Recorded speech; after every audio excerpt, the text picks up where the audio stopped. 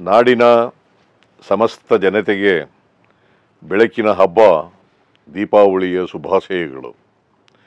ದೀಪಾವಳಿಯನ್ನು ಈ ಬಾರಿ ಪರಿಸರ ಸ್ನೇಹಿ ಹಬ್ಬವನ್ನಾಗಿ ಆಚರಿಸೋಣ.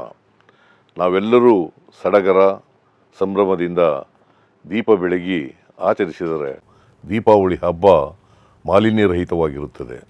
ನಿಷೇಧಿತ ಪಟಾಕಿಗಳನ್ನು ದೀಪಾವಳಿ ಹಬ್ಬದ ಸಂದರ್ಭದಲ್ಲಿ ಬಳಸುವುದು ಬೇಡ. ಮಕ್ಕಳು ಹಾಗೂ ಹಿರಿಯ ನಾಗರಿಕರ ಆರೋಗ್ಯದ ಮೇಲೆ ಇದು ಪರಿಣಾಮ ಉಂಟು ಮಾಡುತ್ತದೆ. ಪ್ರಾಣಿ, ಪಕ್ಷಿಗಳು ತೊಂದರೆ ಅನುಭವಿಸುತ್ತವೆ. ಆದ್ದರಿಂದ ಮನೆ ಮನೆಗಳಲ್ಲಿ ದೀಪಗಳನ್ನು ಬೆಳಗಿಸುವ ಮೂಲಕ ಸುರಕ್ಷಿತ ಹಾಗೂ ಹಸಿರು ದೀಪಾವಳಿಯನ್ನು ಆಚರಿಸೋಣ. ಆ ಮೂಲಕ ನಮ್ಮ ಸುತ್ತಮುತ್ತಲಿನ ಪರಿಸರ ಸಂರಕ್ಷಿಸೋಣ.